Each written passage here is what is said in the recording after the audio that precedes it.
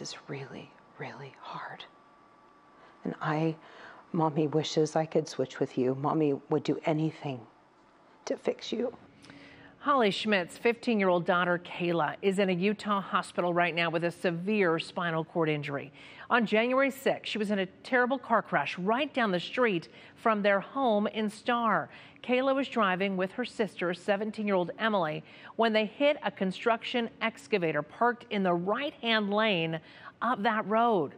The girls couldn't see it because of the thick fog that night. This past month has been heartbreaking for the Schmidt family, but the community, the community of Star, has embraced them and is helping them carry them through all of this. This morning, we share Kayla's journey in our Sevens Hero. I got the call from my husband. On January 6th, nurse Holly Schmidt had just started her shift at the St. Luke's ER in Nampa. And he said, You got to come home now. And I said, What? What? He said, The girls were in an accident and they can't get Kayla out of the car. Holly's teenage daughters, 15 year old Kayla and 17 year old Emily, were going out to eat that foggy night. Emily was driving and didn't see an excavator parked near their home in Star. She crashed right into it. Kayla had to be extracted and was rushed to St. Alphonsus. The first question I asked was, Is she moving? Is she moving her legs? Is she moving her arms? Is she awake? I just prayed. I literally just put my head down and I just prayed. That night, word of the accident spread quickly through the small town of Star. When there's something that happens, everybody in this town really comes together to help others out. Star's mayor, Trevor Chadwick, says plans were quickly made for a prayer vigil for Kayla. The accident happened Saturday, uh, Friday night, and that vigil was on Sunday night. And um, there was, I, I don't know, five, 600 people or so there, and everybody was there to pray for, for Kayla and the Schmidt family. The community came together and they put these Pray for Kayla uh, bracelets together. There was a meal train that was done, right? And the meal train to feed this family all the way through February. I mean, that's incredible for all these people to jump on board. A GoFundMe was also organized. So many people wanted to help. Over $90,000 donated so far. I look at it and I'm just like, it, it's, I, I can't believe it. Hey, Kayla. Hi. How you doing? I'm good. Holly kept the community updated on Kayla on social media, posting videos and photos from the hospital. Her attitude is nothing short of inspiring. I have my mind and my memories and my voice, uh-huh. and I would be scared if I didn't have those things. And even if I never walk again or be able to move again, there's so many advancements in technology to help me. You got this. If anybody can do it, it's you. And we don't know what God's going to plan for you. We don't know yet. We have to trust Him, right? After two weeks at St. Alphonsus, They did all they could for her. She was ready to be transferred to, you know, a different level of care, you know, inpatient rehab. Kayla was transported by air to the University of Utah. Her injury is just devastating. We didn't know how, you know, how severe this really was until we got her to Utah, to be honest. Right now, Kayla is paralyzed from her shoulders down. She does have some movement in one of her hands. It's now that journey begins with trying to see how much sensation and movement that she can achieve with their therapies. Big sister and best friend Emily visits as often as she can to lift Kayla's spirits. She is devastated and still processing what happened that night. They're so close, and I'm just as concerned about Emily as I am for Kayla. I'm on high alert with her. She's got a lot. Kayla also gets visits from her big brother Alex and her little brother, eight year old Noah. He's very protective of her. He wants to be right there with her, and he holds her hand. Each day, Kayla is working so hard to get more movement. And when she feels defeated, oh, I'll square myself off in front of her wheelchair, and she won't want to look at me. I'll say, Kayla, we are just going to do this minute by minute today. And when you want to quit, I'm going to be here to help you go forward. Your mommy and your daddy are going to do everything to give you the best life. what's carrying this family through is their faith and the amazing support from the community. The bracelets, car decals, even painted rocks. I read her every card, I read her every message, I read her every text. Mayor Chadwick says when she's ready, the community of Star will welcome Kayla with open arms. It's a big thing to make certain that we all continue to pray for her and, and do what we can uh, to lift that family up in spirits. The Schmidt family is so grateful for everything. It makes me feel like like Kayla is to be she's to be embraced. 7 0. And just this week, Kayla started recording a video blog of her experiences at the hospital. She says there are good days and there are hard days, and she wants to document all of it. But one thing she loves, Justin, is getting mail to lift her spirits. And you can see her address on your screen right now at that Salt Lake City Hospital. We will put this on the website as well for you. If you want to send her a letter, a card, a gift card, maybe a care package, something to help her get through. We also have a link to the family's GoFundMe and the meal train. They say they are so humbled by that GoFundMe because they just have no clue how much all of their expenses are going to be when they finally adapt their home and bring Kayla home. So they have a lot to consider in the future, but we will certainly keep you updated on her progress. Yeah, and that's the story Strong of this girl. community coming together to help folks who need it.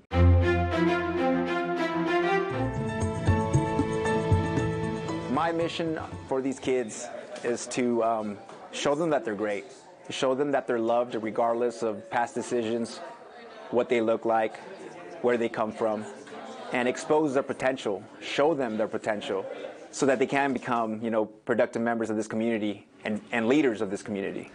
Luis Granados is the executive director of Breaking Chains Academy. Have you heard of it? It's a program in Nampa, a nonprofit where at risk teenagers can earn a GED and really get a fresh start in their lives. But it's so much more than that. It's also a safe place, a place to belong, and a place to feel valued. This morning, we're going to tell you about a man on a mission, Luis Granados, and the lives that he's changing. He is our Sevens hero.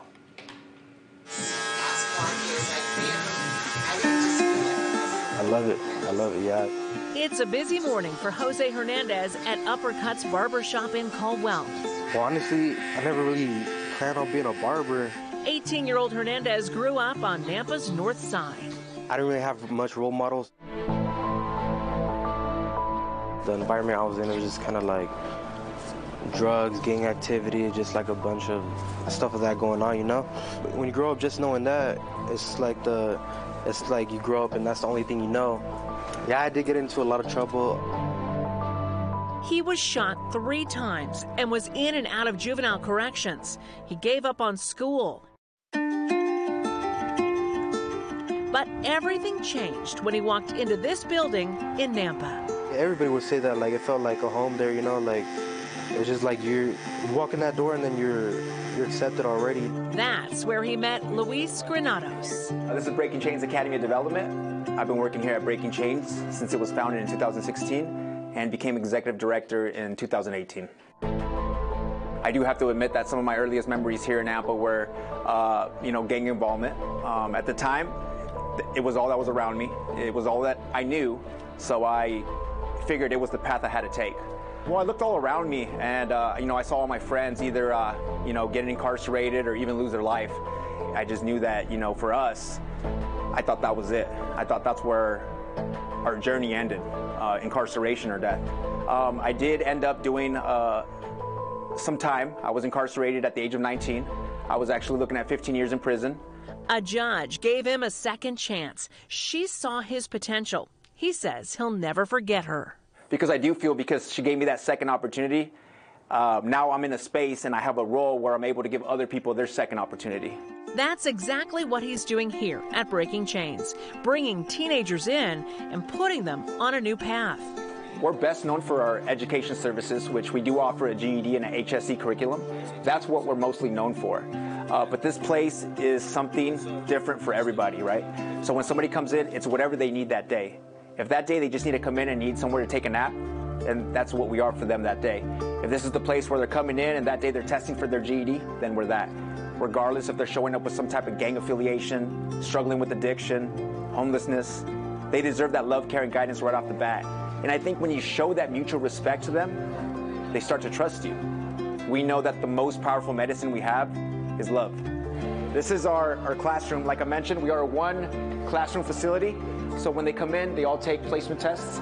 Those placement tests will tell us where they're at academically, and we'll curate a study plan just that's just for them. So this is this is our kitchen here, and because of awesome organizations and donors in the community, we've been able to keep food in there, uh, in the in the freezer and fridge. They stay focused because you know their, their stomachs are full and they're not empty. So we take a lot of pride in, in keeping that uh, stocked with food. This small building is leased from the Nampa Housing Authority. Breaking Chains is funded by community organizations, donors, and one of their biggest supporters, the Idaho State Police. They love our program, they believe in our program, they believe in our kids. And so that's one I take just great pride in because I love to have that relationship with them to, to tell the community and even to tell our kids, like, look, Idaho State Police cares about you. They offer art classes. There's a small lounge where students can play pool, and they even have a recording studio. Graduate Raimundo Reyna says this place changed him for the better. His goal to sell real estate. If I'm not at work, I'm either at home. I'm not really in the streets like that anymore. Luis is a teacher, a mentor, a father figure, a role model. I felt welcomed automatically. We spotted Naima Martinez painting this mural on one of the walls. It's the Virgin Mary. She's also a graduate and now in cosmetology school, but she keeps on coming back. When I came here, I just got out of juvenile detention. Um, I got in trouble. I ended up coming here and it was just a family feel. I kept on coming here until I was able to get my GED. And then I graduated, I kept coming here, and I finally decided to start painting this. Just being surrounded by these kids is, has completely changed my life. It didn't take long for me to realize that being here, I wasn't changing them. They were changing me. These kids are our future leaders of our community, and they're the ones that are going to make a difference here. Remember Jose, the barber? So yeah, this is, this is where I'm at right now. When I think about Jose, it's hard not to get emotional. Did he have some bad days? He did, but he got through them. It just it just fills me with emotion to see where he's at because I know he's he's off to great things. I know one day he, he will have his own uh, his own barbershop here in Canyon County, and so I look forward to that day. Don't ever don't ever think that Luis won't understand you because he's he's been through all of it. You know, he saves lives. Honestly, he saves lives for sure. He I mean he saved me. You know, like without him, I wouldn't be where I'm at right now. Luis Granados and the staff at Breaking Chains Academy. All I know is that our doors are open and uh, and they'll stay open. Seven's Heroes. Just an amazing man. And Luis Granados has a big vision for the future expansion. And if Breaking Chains can secure more funding, they can help even more people in cities across Idaho, even more teenagers. Remember that judge that Luis told us about, the one that took a chance on him?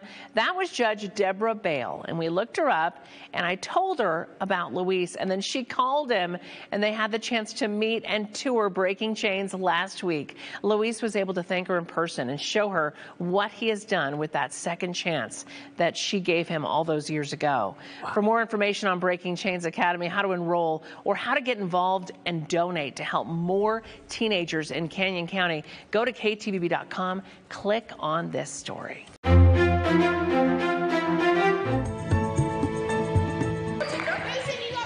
He's just like any other kid. He really is. He's always smiling, always got a friend with him. He he doesn't let anything hold him back at all.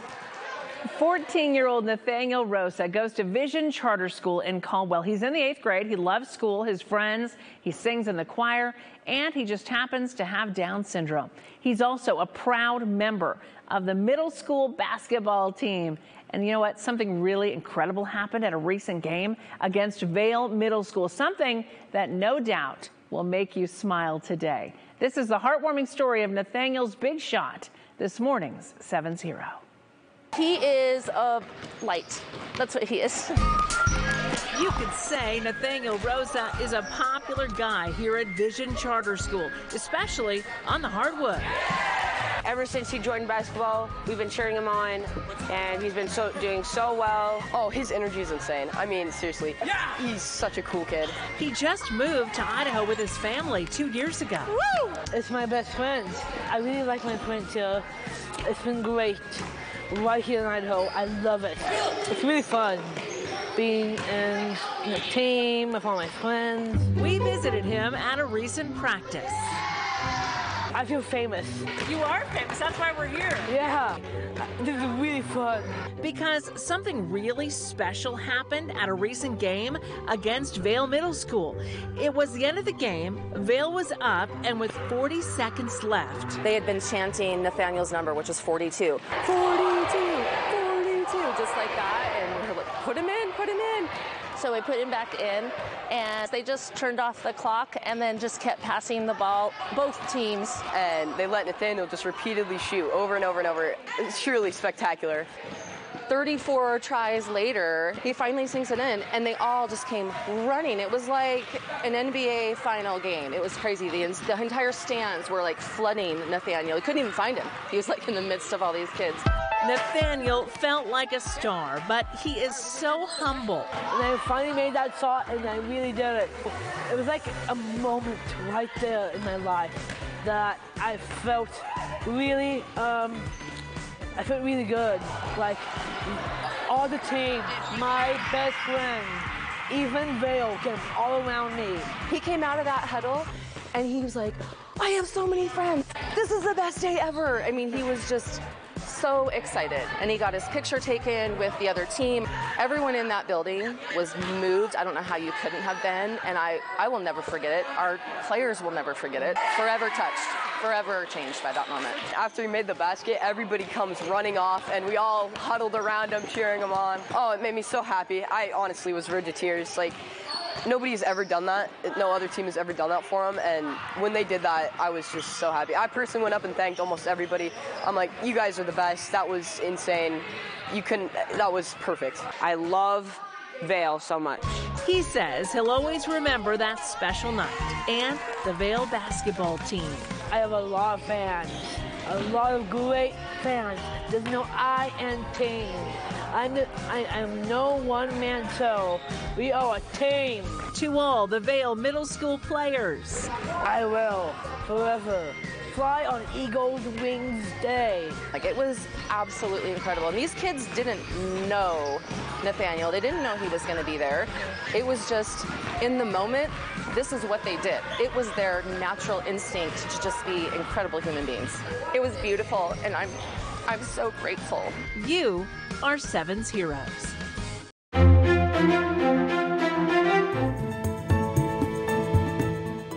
So I just want people to know that they're just two normal kids. They are in this, an unusual circumstance and just treat them normal.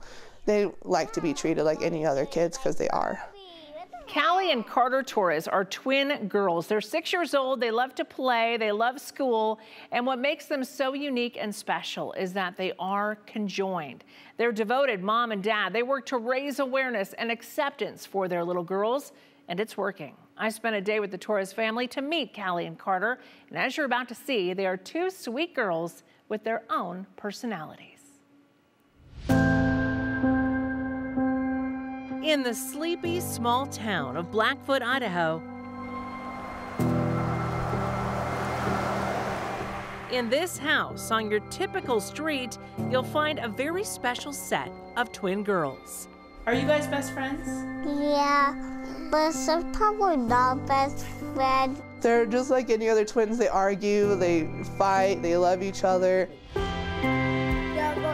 Callie and Carter Torres are six years old. They started kindergarten this year, a huge milestone, and they have a lot of friends. How's school? How do you like school? Good. We really like school. What's the best part about school? Um, lunch. Lunch? Is that the best part? Yeah.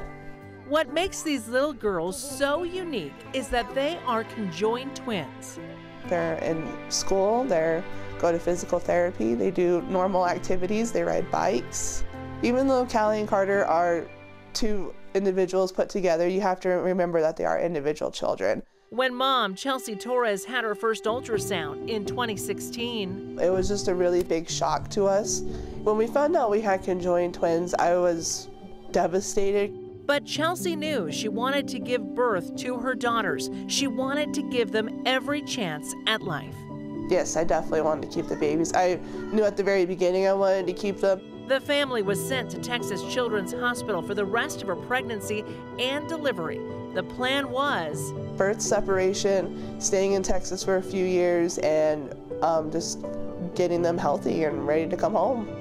Callie and Carter were born via C section on January 30th, 2017. They brought them to me and they cuddled them up to me and then they took them away, and my husband went with them. Then I told them, go, go with them, be with them, be, you know, I'll be, I'll be okay. The girls were strong and they thrived in the hospital in the days after their birth. Just stayed with them the whole time, and they were just, just little cute babies. They were just Callie and Carter. The twins went through extensive testing in Texas to see how their tiny bodies worked together. And they said, nothing's wrong with them. They're perfect. They're healthy. Take them home. Treat them like normal kids. So that's what we did. The Torreses quickly learned separation of the girls would be life altering and life threatening. The chance of death for one or both babies was just too high. If they were to separate, they would have probably ostomy bags, colostomy bags, um, medications that they would have to take, and all this other uh, medical complex stuff that they don't have to deal with right now. So Callie Carter's anatomy is like two waves that crash together. So their top part is themselves. They have two separate stomachs. Um, where everything starts to get jumbled is in the intestines, and then it comes to kind of one intestine, like the one bottom half. The girls are now working on walking together. How they walk is um, Callie controls the leg under her, Carter controls the leg under her. Takes a lot of teamwork. Yes, a lot of teamwork for them to do that. That is amazing, girls. Their nine year old brother Jason loves to give them piggyback rides and is one of their biggest fans. Say hi to the camera. Hi, hi girls. Hi, girls. Hi. They're both special to me. Um, they're both funny. They both love each other. I love them both. They play with each other. Uh, they're special. I see them as like just two individuals. They're just like anybody else. Here in Blackfoot, there are the occasional stares, but these kindergartners are well known. When they say, oh, look, it's, you know, Callie and Carter, they say hello. They kind of know them from the news. Thanks to social media, the twins have fans all over the country. So I made a page uh, Beating the Odds with Callie and Carter on Facebook, and I decided, hey, this is what I was going to do to find people who had conjoined twins. And I did. I found groups, I found people, people have got in touch with me, you know, a lot of support. I needed a lot of support. Chelsea posts about the girls often, and their followers love to watch them grow and comment on their photos pretty positive comments about them, like, hey, you know, they're doing awesome. Um, I can't believe they're walking. Mom says the insensitive or hurtful comments can sting, but the majority of the twins' followers are kind. It's easy to see why Callie and Carter are so lovable. Oh my gosh, girls, you are so sweet to hold. You guys are precious. Chelsea says one day the girls may want to be separated. She's leaving that major decision to them. We'll definitely try. If they decided, hey, we want to try to get separated, I said, okay, you're going to listen to what the doctors say, you're going to understand the odds, but if you want to go through with it and do it, then I'll support it. You know, it's not my choice to make, I don't feel. I don't feel like it's my choice to make for them. They're not broken to me. For now, these precious girls will grow up together here in Idaho, raising awareness for other conjoined twins around the country. Are you a good team together? Yeah. Callie and Carter are beating the odds, and they are our seven heroes. Such special little girls right here in Idaho. And for more information on Callie and Carter and how to follow them and their journey on social media, you can go to this story on ktvb.com. And I also wanted to mention, Justin, they have a wish list too, an Amazon wish list. So if you want to send the girls something special to lift their spirits, they love to get care packages. So you can do that right now if you go to our website at ktvb.com. And I agree with them. My favorite part of the day, lunch and recess. Yes, the best parts. Followed by dinner.